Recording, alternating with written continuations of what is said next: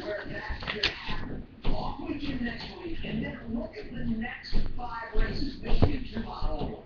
The high base in Bristol, road course in Ontario, back to Iowa, the short track, and then the mile and a half in Chicago. The summer stretch, you know, I have to watch it all right here. So it's favored to survive in this amazing run because it could very well decide the champion. Well, you got to put the finger on Matt Crafton right now. Here comes that 88, and they roll out of here with their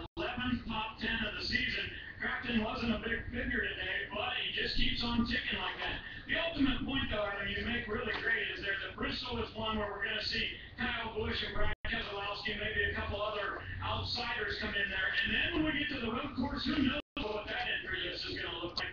You expect some ringers to come there, and in this division, they maybe could make a difference. And uh, we'll have to keep our eye on the points, but you're right, this summer stretch is going to be a big part of it. 11 and Crafton is consistent each and every week. And right now, somebody's going to have to jump up and say, I can be better than the 88. I'm jealous. Hi, this is J K O, and this is about the WMATA WMATA bus driver. First, you gotta work hard and do everything you can. Thank you guys for everything and good luck.